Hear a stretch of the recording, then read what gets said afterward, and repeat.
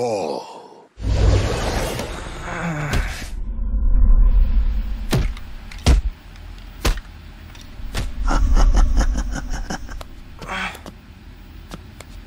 You are alone, child.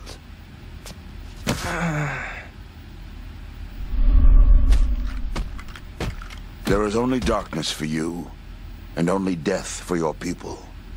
These ancients are just the beginning. I will command a great and terrible army.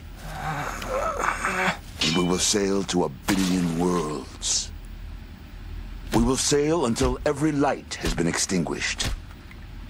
You are strong, child. But I am beyond strength.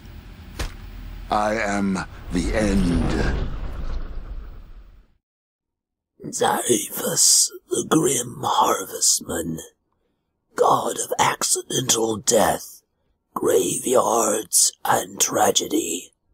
His alignment is neutral evil, with domains including death, destruction, evil, plants, and war.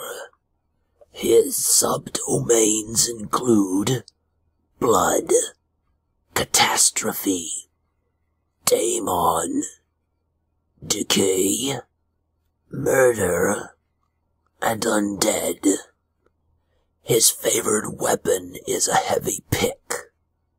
Centers of worship include Galt, Nidal, Qadira, Taldor, Ustalav, and Varisia. His nationality is considered Keleshite. His only symbol is a pick made of a femur, a human skull, and a large rib. His sacred animal is the vulture, and his sacred colors are ivory and red. Zyphus appeared in Pharasma's boneyard as the first mortal to die an accidental and meaningless death. Enraged, he cursed the goddess and refused to accept her judgment. His wrath and the unique circumstances of his death bent his destiny and made him a godling, allowing him to escape his mortal fate. Zyphus is a malevolent, hateful force who seeks to bring ruin and sadness into the world, and is responsible for many unexplained and senseless deaths. It's said every accidental death adds to his strength, so that someday he may grow powerful enough to usurp the place of his most hated rival, the Lady of Graves. The god's mortal followers believe that the universe is ruled by chance rather than some grand plan. Bitter and cynical, they try to convince others that their faith in deities is misplaced, and set up traps and convoluted accidents to kill other people in Zyphus's name. They preach that those who are slain by accidents that they engineer do not travel on to Pharasma's boneyard, but are instead captured by the grim harvestman, their souls consumed and absorbed by his malignancy.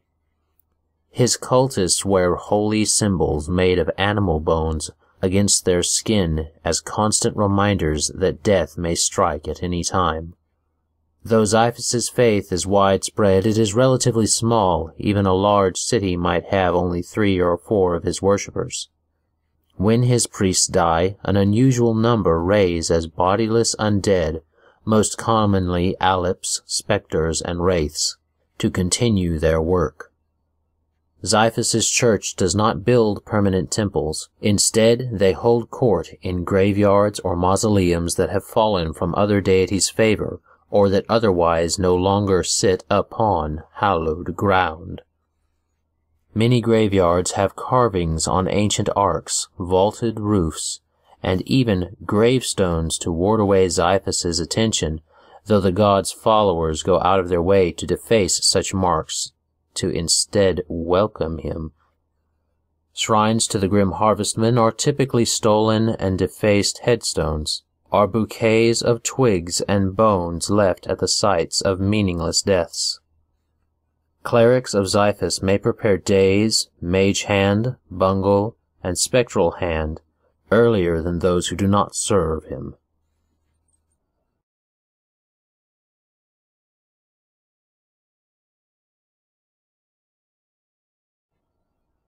Hello, everyone. That covers Zyphus, the Grim Harvestman. I believe there is more information out there on him, but unfortunately I didn't have access to it. I really would have liked to have put that action in this video, as I think that Zyphus would make a great deity for a necromancer to serve. Perhaps later we can revisit these lesser known deities and give them a video that fleshes them out a bit more as the information comes to my hands. I'd be interested to hear how you've seen Zyphus used. Have you seen him as a PC's deity? Have you fought against him, tried to kill him? Have you encountered his cultists? Let us know in the comments below. But for now, that finishes all of the minor deities. Next, we're going to go into ethnic specific deities. Up first, we'll be covering the Dwarven Pantheon. That's right, Torag's not the only one. He's part of an entire family that makes up the Dwarven Pantheon. So look forward to that, and as always, have a great day. God bless, and enjoy. This content was made possible by travelers and viewers like you. Thank you.